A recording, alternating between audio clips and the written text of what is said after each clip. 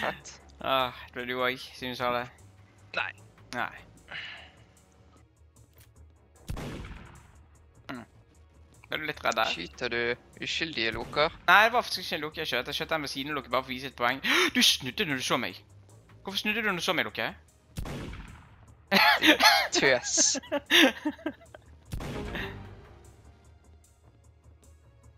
Du er en skitten, liten, frustrert pike. jeg er ikke en frustrert pike, jeg er en frustrerende pike. Gå og vask hendene dine, dude. Du er skitten. Skal vi se